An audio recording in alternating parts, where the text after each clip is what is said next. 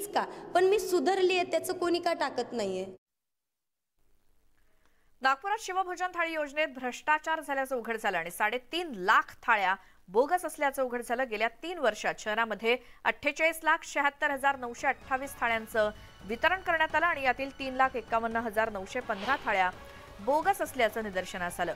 शिवभोजन थाळीमध्ये घोटाळा करणाऱ्यांना अपात्र ठरवत प्रशासनानं केंद्र चालकांचं अनुदान कापलंय.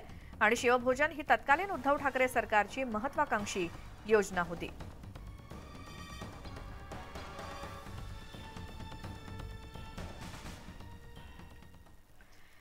मुंबईतल्या बीडीडी साईनच्या पुनर्विकासाला सुरुवात झाली आहे. ऐतिहासिक सामाजिक आणि सांस्कृतिक महत्त्व असलेल्या बीडीडी प्रकल्पातील वरळी येथील चाळी आता इतिहास जमा होऊ लागल्या टप्प्याटप्प्यानं इमारती पाडल्या जात आहेत आणि येत्या काळात त्या ठिकाणी नवीन इमारती उभ्या झालेल्या दिसतील. पण वर्षानुवर्ष पुनर्विकासाच्या प्रतीक्षेत असलेल्या लोकांना मात्र एक मोठा दिलासा मिळालाय.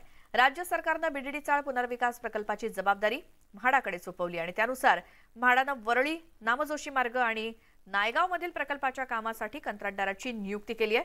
वरळीमध्ये प्रकल्पाचं काम सुरू झालंय. तर वरळीतल्या बीडीडी चाळ पाडकामाचा आढावा घेतला आमच्या प्रतिनिधी प्रणाली कापसे यांनी.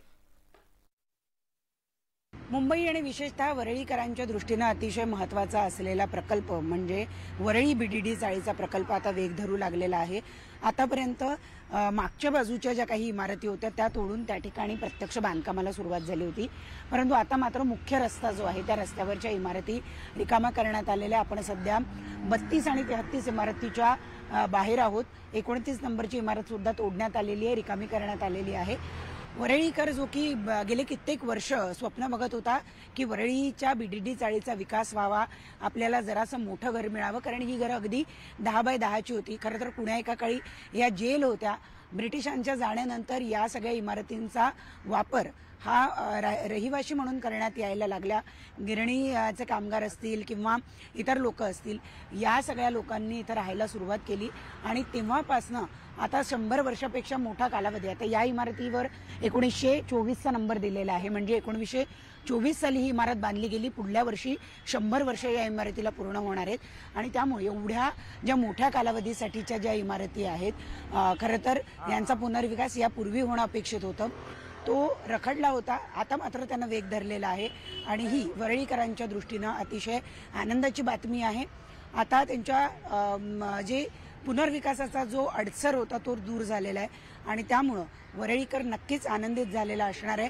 लोकांनी आनंदाने आपली घरं रिकामी करायला सुरुवात केलेली आहे. कारण लवकरच त्यांना मोठी रहिवाशी घरं या ठिकाणी उपलब्ध होणार आहे. व्हिडिओ जर्नलिस्ट प्रवीण शेट्टीचा प्रणाली कापसे न्यूज एटीन लोकमत मुंबई. आणि आता पुढच्या बातमीकडे वळतोय. लोकसभेत दिलेल्या भाषणामध्ये पंतप्रधान नरेंद्र मोदी